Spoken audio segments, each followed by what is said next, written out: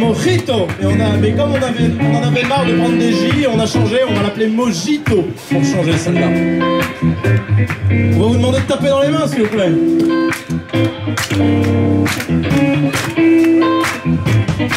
plaît.